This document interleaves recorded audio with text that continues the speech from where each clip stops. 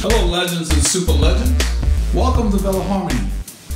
Today we're going to be talking about how you avoid being the squirrel of the bunch.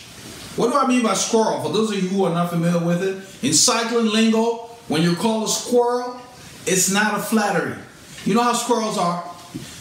They're all over the place. If you're one of those riders, nobody wants to be near you. That means you're not smooth. You're jumpy, jerky, you scare everybody. And so a lot of inexperienced riders are oftentimes referred to as squirrels. And so it's not a compliment. And uh, so, in lieu of referring to somebody as a squirrel, I've always thought that it was better to find out whether this person was aware as to why they rode the way they did. What brought this idea to mind for doing this video was one of our legends, uh, his Cal Cycling, his YouTube name now and uh, I will read what he said. The last video I loaded, this last ride on Saturday, he said, I noticed in segment 1453, 14 colon 53, the timestamp, you grabbed your water bottle while maintaining your cadence. How do you do that without veering all over the road? Very valid question. I thought about it for a while. I didn't want, it would take a long paragraph to reply. There's too much involved. So I just said, practice consistently. Now, yes, you can practice to be smooth all you want. Where does the, the gist of it come from? Fit.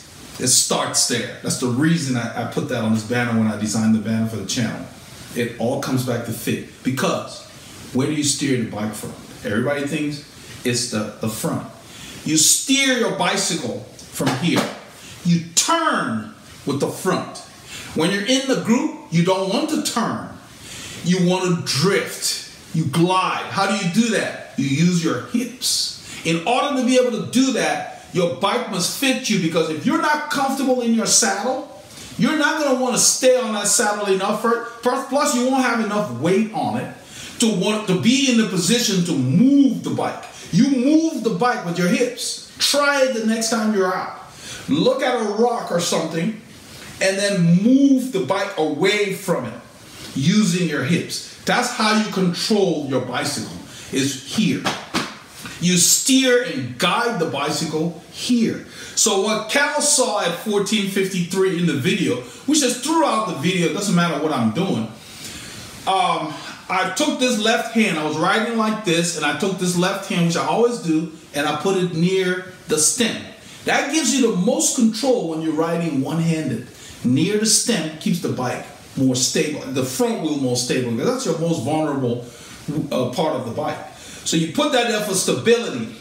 I reached down for my water bottle. I took a drink like I told I always do. I tilted the bottle up so my so my, my head position did not change. Drank while pedaling.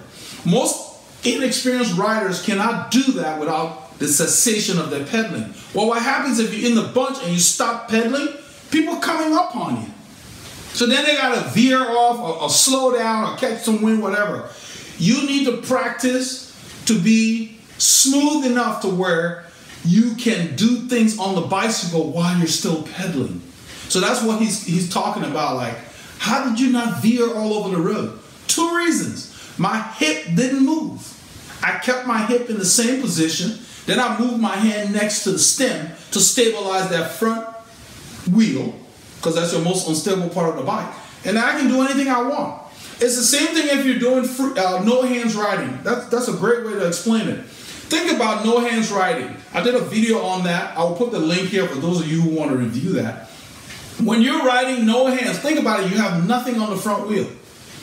You're sitting. What do you think is keeping the bike stable? Other than your momentum, it's your hip that you use to guide the bike. So when you're riding with your hands on the bars, you're still using your hip. So in the group, when you want to move to the left of someone, you don't use the steering, you move your hip. So your bike end up drifting, drifting. So everyone behind you now will relax because they know that you do everything smoothly. You're not steering to the left. That's the key.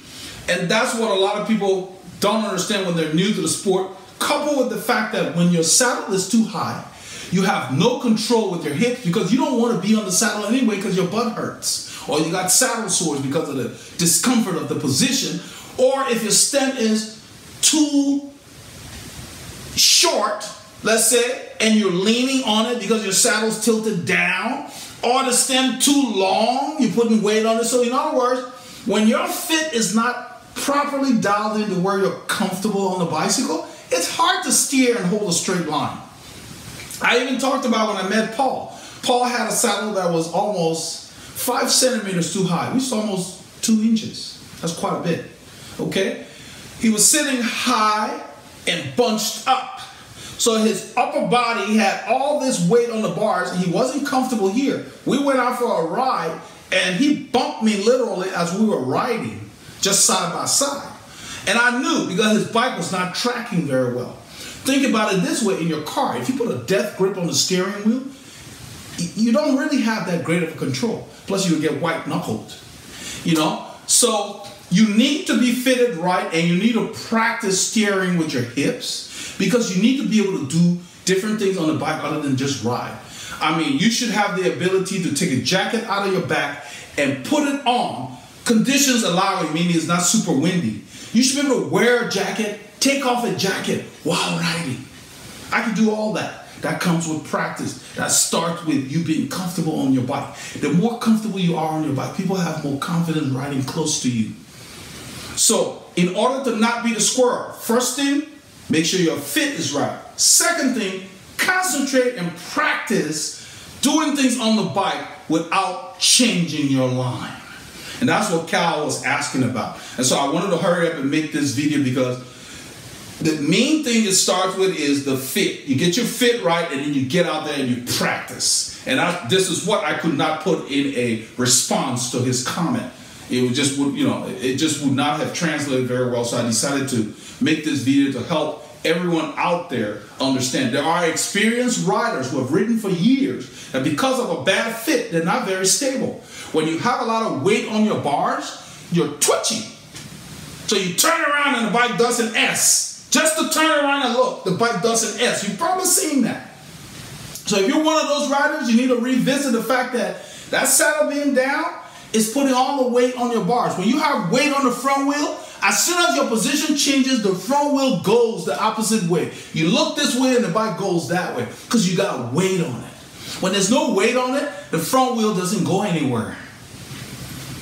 So when you see people riding like that, it's a bad fit coupled with lack of experience because if they had the experience, they would have worked on that fit. That means they haven't ridden long enough or they're not aware that they're not supposed to be that uncomfortable.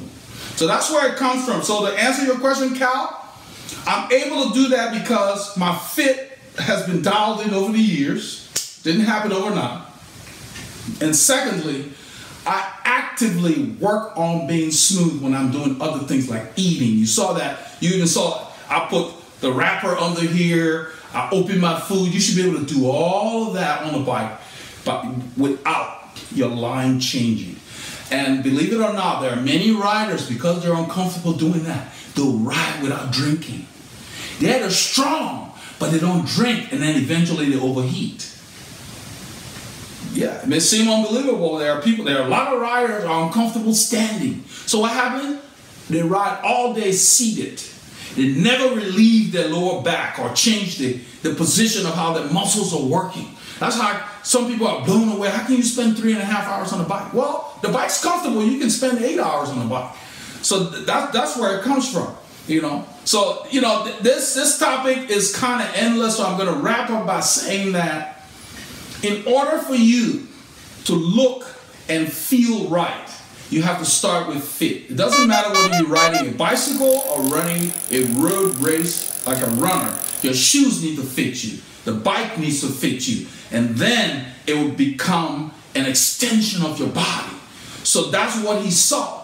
This was, the bike is a part of my body. So when I reach for a bottle, my body doesn't freak out. I'm just reaching for a bottle. I'm not doing anything else.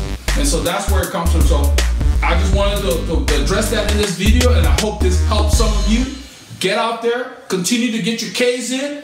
And if you can't find a fitter that you trust, go to our website. We offer remote fit. We'll support you and get you comfortable on your bike.